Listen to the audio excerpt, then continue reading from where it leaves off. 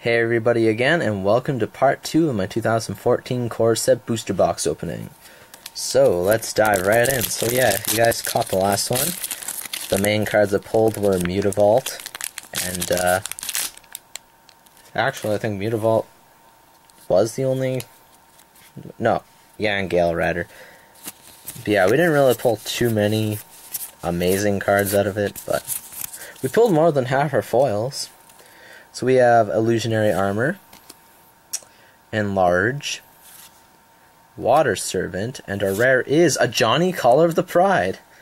Sweet, that's actually the Planeswalker I wanted, because I'm trying to make a white deck, and I need him. So he's a 3 cost 4 loyalty Planeswalker.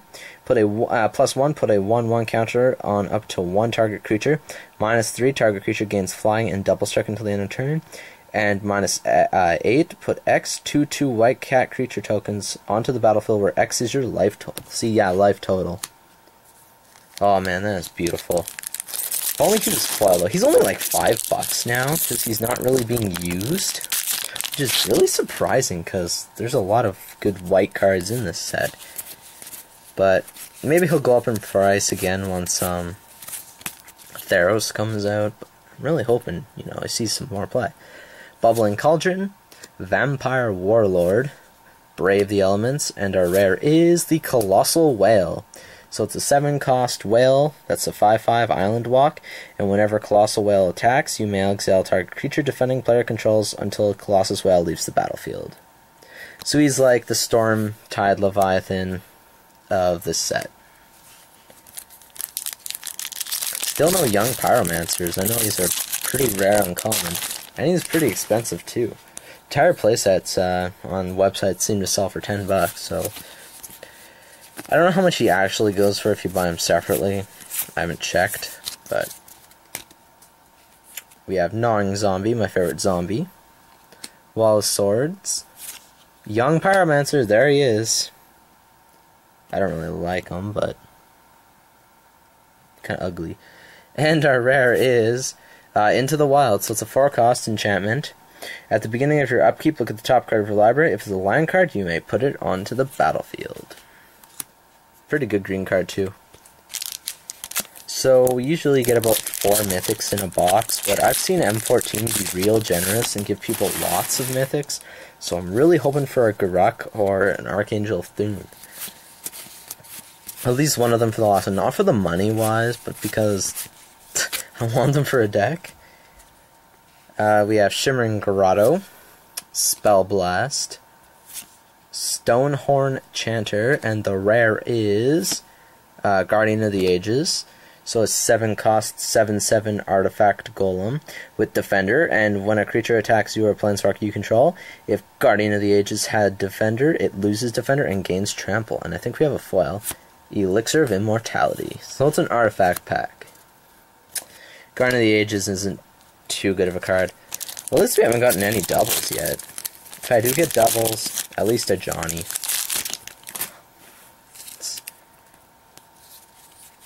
So let's see here. What else do we have? We have oh, another Chandra card. Flames of the Firebrand. Tenacious Dead, another good uncommon. Windstorm. Hmm. And our rare is Dismiss into Dream. Uh, it's a 7 cost. Each creature your opponent control is an illusion in addition to its other types, and has when this creature becomes the target of a spell or ability, sacrifice it. And we have a rare clone foil. Wow, that's going to be our rare foil for this box? It's already disappointing. This is like the one of the cheapest rares. It's a 4 cost, 0 0 shapeshifter, and you may have into the battlefield as any creature. But yeah, the illusion, I mean the dream card, eh, it's good because it turns all your opponents into illusions. Without Lord of the Unreal, they're kind of useless. And they'll die. As long as you activate a card that targets them. Even if it would power them up, they're still going to be destroyed. So I'm really hoping our last mythic is something good. we have another Tenacious Dead, Bramble Crush, Battle Sliver, and our rare is Sanguine Bond, which is actually a really good card. It went down in price a lot since this was released, but it's a 5 cost. Whenever you gain life, target opponent loses that much life. I was doing a black uh, life gain deck, and it, it worked good. It is better if you put white into it, but then white slows it down because then you have two land color, uh, two colors to deal with instead of one, and it just it's not that good.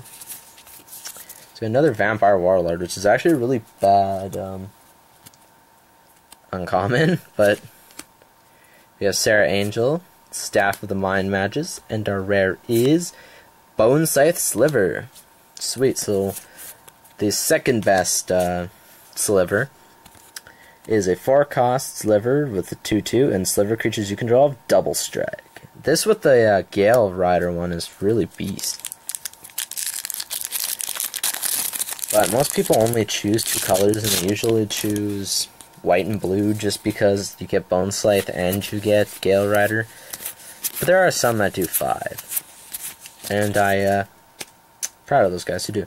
Staff of the Flame Magus. Actually, no, we didn't pull this one yet, I don't think.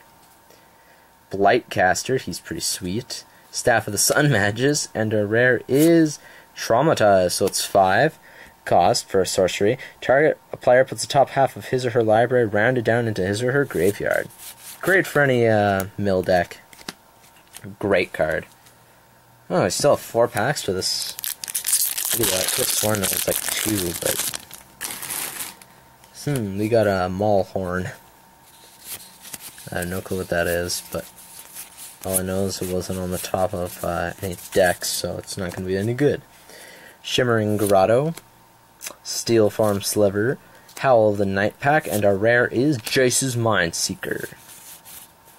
So it's a six cost fish illusion with four farm flying, and when Jace's Mindseeker enters the battlefield, target opponent puts the top five cards of his or her library into his or her graveyard. You may cast an instant or sorcery among them without paying its mana cost.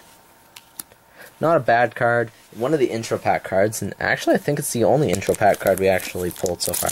We haven't pulled Liliana's Reaver, Ajani's uh, Chosen, Chandra's Phoenix, or whatever the other one is. I really wish they'd start making artifact decks too, so there'd be like six. But so we have another Kalonian Tusker, Millstone, milling, Enlarge. And we have a Thorncaster Sliver. So it's a 5 cost for a 2 2 sliver. Sliver creatures you control have whenever this creature attacks, it deals 1 damage to target creature or player. The Burn Sliver which is actually really good, and he's also the one that had the playmat. Bone Scythe should have got it, but oh well. You can tell when there's a file in these packs because the packs feel almost thicker. Like not the pack itself, but these uh, the cards. So we have Banisher Priest, uh, Woodborn Behemoth, Angelic Accord. There's the white card that goes with the black deck I was running. We have Strionic Resonator, and it's an artifact that's two costs and two in tap. Copy target triggered ability you control.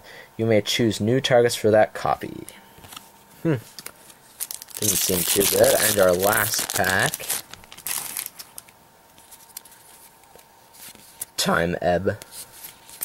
Yeah, Brindle Boar, you came back after M12. Same with Pillarfield Ox. Mana Weft Sliver. I think actually looks pretty cool, but it doesn't look like a sliver. Staff of Death Magus, Angelic Accord, and our rare is Megantic Sliver. The 3 3 Titanic Sliver for 6. That gives 3 3 and is 3 3. Really good sliver, and a foil forest. So this half of the box was pretty good because we had a Ajani. But other than that, it wasn't that good. So, Stay tuned for part 3. We still have one more mythic to find. Will we actually get this Thune like everyone else seems to be getting? Stay tuned.